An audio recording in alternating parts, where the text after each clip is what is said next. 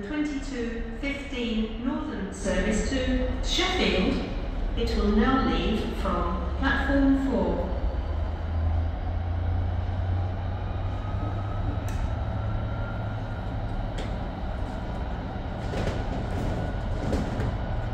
The next train to arrive at platform 4 will be the 22.15 Northern service to Sheffield, Cornered Meadowhall and Sheffield.